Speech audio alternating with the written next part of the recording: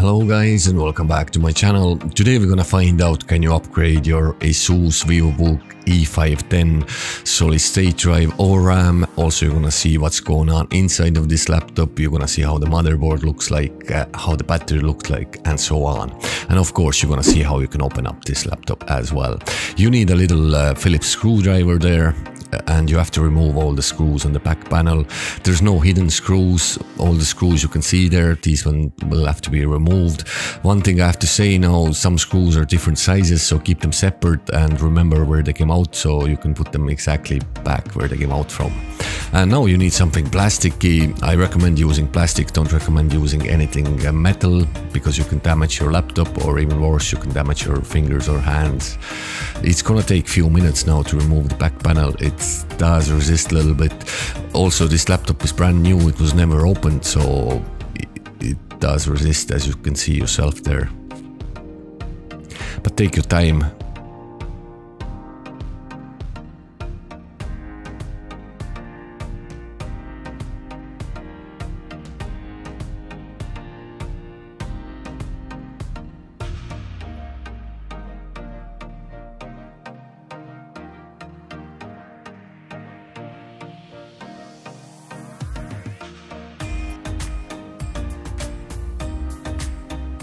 There we go, almost there.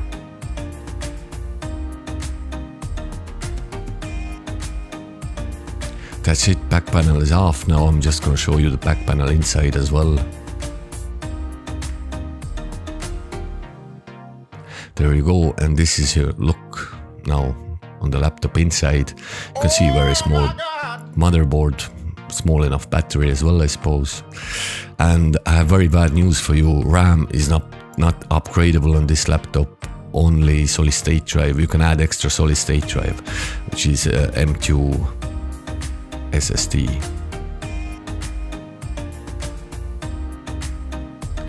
on this laptop now the built-in uh, SSD is 64 gigs so in a minute I'm gonna add another 128 gigabyte. So in total it's gonna have almost 200 gigs. And uh, before you start upgrading anything you can disconnect battery. You can see it's simple enough. You have to push back that little metal clip there.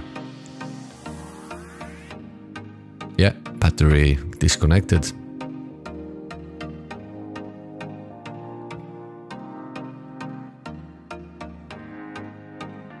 Okay, this is your solid state drive. I only had 128 gigs. If you have more, you can put more in it. That's all I had. It's a fast enough drive, not now too much space, but it will do since there's 64 gigs on, on board anyway. And one thing now, if you install new drive and you're planning to use Windows on it, obviously you'll have to install Windows again, so whatever you choose there, Windows 10 or Windows 11. I installed Windows 11 on this drive, I'll show you now in a minute. You're gonna see the Windows as well, you're gonna see the both drives there, so just to prove that I'm not fooling you. And also the little screw what you saw there it doesn't laptop doesn't come with it. You need to unscrew that somewhere else or buy one. Don't know where you're gonna get it. You might have one in, in a house anyway but that's it. Okay you can connect the battery back. Don't forget it. Happened to me quite a few times now I have to say. I forgot to connect battery and guess what? I have to open the laptop again and connect it then. So I recommend connecting it now and that's it, you can put the back panel back and the screws will go back where they came from. And as I said, bad news is uh, RAM is not upgradable sadly, so this laptop came with 4GB DDR4 RAM and that's how it's gonna stay forever. I can't upgrade that, can't do anything about it, so that's the bad news. Okay, screws will go back in now. And just in a second now, we're gonna go to Windows and see what's going on there.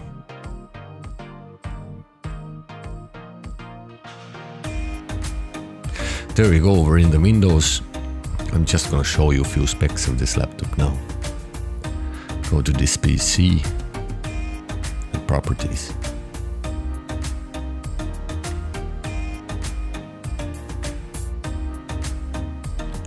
As you see, there's 4 GB RAM, Intel Celeron CPU, not the fastest one either now. And you can see here, that's the new drive I installed 120 and that's the old one, 64 gigs. So I left the old one for just for storage. God knows it's not a lot, but will do. Go to device manager now as well and you can see the both drives are there. So it's working. It's guaranteed to be working with extra drive. So that's it guys. Hopefully it was helpful for someone out there who's looking to upgrade. If you liked the video, subscribe. Bye bye.